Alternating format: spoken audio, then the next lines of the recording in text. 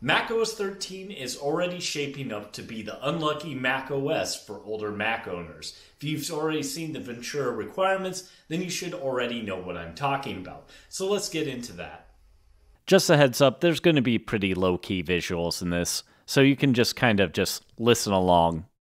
The following Macs are currently supported in macOS Ventura 13 as of the developer preview 1. Just a reminder, all the URLs featured in this video are in the video's description. So let's also bring up the list of T2 security chipset equipped Macs. And you'll notice the connection is pretty strong here. Interestingly, I haven't seen many publications make the same leap, but Ars Technica did, and they had the same observation. So the question becomes immediately can you install macOS 13 on a non T2 Mac? macOS 13 is currently in public beta phase or developer preview, and at this point, even the point releases are going to have radical changes. I doubt it's going to cut out support necessarily or change the support list. It's just that moving forward, different problems could arise getting the operating system to load on non supported Macs. Problems with unsupported hardware can occur even after the OS has been released to the public. If anyone remembers the Sur Plus glitch on Big Sur that interrupted the boot sequence, that occurred in, if I remember off the top of my head, 11.3. So these OSs can radically change over time. What I say in this video might not be current later. Let's talk about those classic Mac Pros and the trash can Mac Pros, as I have a feeling that's why almost everyone watching this video is here. Esteemed community member Silex, I think I'm saying his name right, posted a bullet point list of community discoveries on Mac Rumors. First off, you cannot natively install the OS from a classic Mac Pro or a Mac Pro 2013.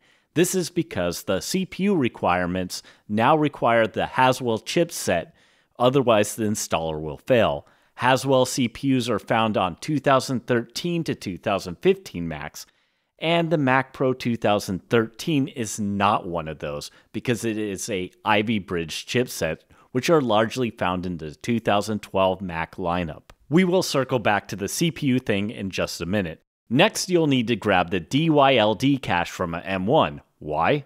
It doesn't support AVX or AVX2 CPU instructions in Rosetta 2. The DYLD cache is a dynamic linker cache of all the system provided libraries. It's distributed with the OS when you install it. There's not an insignificant chance that every OS update will require updating the DYLD cache. As Silex points out, applications that require AVX or AVX2 apps may never work on unsupported CPUs. So, to come back to the CPU requirement, infamously, the classic Mac Pros do not support AVX. The 2013 Mac Pro supports AVX, but not the AVX2 instruction set. Not that this is important to understand, but AVX, or Advanced Vector Extensions, are a set of instructions for doing single instruction multi data or SIMD operations on x86 CPUs. It's just designed to speed up certain types of floating point compute operations. Unfortunately, these old CPUs just don't support these later gen features. Apple also dropped older GPU supports on the AMD and Intel fronts. Now required are AMD Polaris chipset based GPUs, aka the Radeon 500 series and above, and the Intel Kaby Lake chipsets, or the HD 600 series and above. My gut feeling here is that this is the last time Apple's going to drop AMD chipset support until they drop all of it. The reason I think this is because the 2019 Mac Pro shipped with the 5800 Pro variant of the Polaris chipset. While editing this video, I realized I never mentioned Metal 3, which I'm sure is going to have a profound effect on GPU support on old Macs like the 2013 Mac Pro. Also worth mentioning is Apple has also dropped older airport support yet again, now down to about two late gen Broadcom chipsets, and also dropped USB 1.1 support.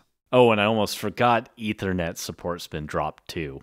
Right now, the install process is pretty brutal, so the prognosis isn't great. However, people have it up and running on classic Mac Pros. The 2013 Mac Pros have a bit of a disadvantage here because they do not have traditionally upgradable GPUs, and their GPU support was dropped.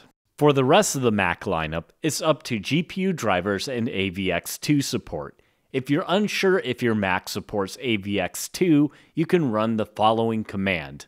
I feel like in hindsight, I should have been able to predict that the next place Apple would have dropped a lot of hardware support would have been around the T2 chipset. The upside here is I honestly feel like the next OS release 2 or maybe even 3 will continue to support these Macs. It's mid 2022 and Apple is still selling Intel Macs. Hopefully, this means something, but the cynics out there would call me out if I didn't mention that Apple was selling the Mac Pro 2013s in 2018.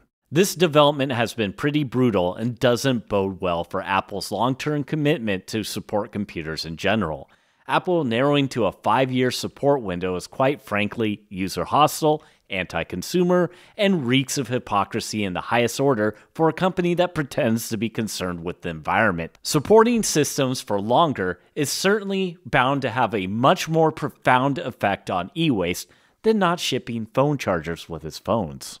Of course, the irony here, though, is if Apple supports old hardware, it doesn't make new sales. I almost now prefer the old method of paying for OS updates if that ensures future support in the long term. I don't want this video to turn into a rant about planned obsolescence, but I feel it's something that we need to keep in mind moving forward, as supporting right to repair legislation shouldn't just be limited to repairing your device, it should also include a support window. Hopefully, this was an off year for Mac OS. Ideally, a computer should get at least seven years of support, preferably more, especially with computers being as powerful as they are today. As far as Mac OS 13 support and the classic Mac Pro and the Mac Pro 2013, I will continue to cover it when there's much more concrete information. My gut feeling is that moving forward, Ventura, if we get the final release up and running under classic Mac Pros and Mac Pro 2013s, are going to be heavily reliant on OpenCore and OpenCore Legacy Patcher. And then certain services may never work under these computers, perhaps Passkey, which is Apple's password replacement strategy. That one really seems to be based on the T2 and the biometrics, and yeah, you get it. Hopefully you found this video informative, and as always, hey, thanks for watching.